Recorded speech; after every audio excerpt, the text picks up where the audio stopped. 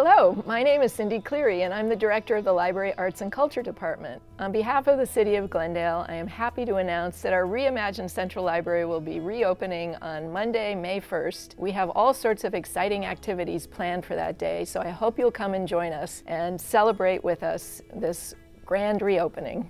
We were built in 1973. Libraries have changed tremendously since that time, and it was time for an upgrade. So in July of 2015, we closed our doors, and uh, we've been in renovation ever since.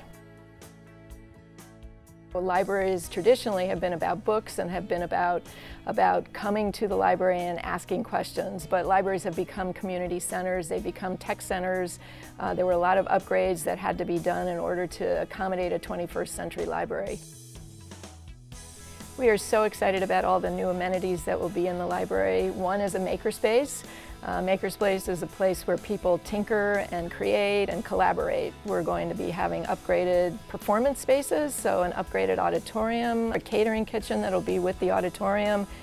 We're going to have 70 computers scattered around the library. We will have six new conference rooms. We've added more study tables. We have something called the reading spa on the second level that used to be office space, but now is space available to the public.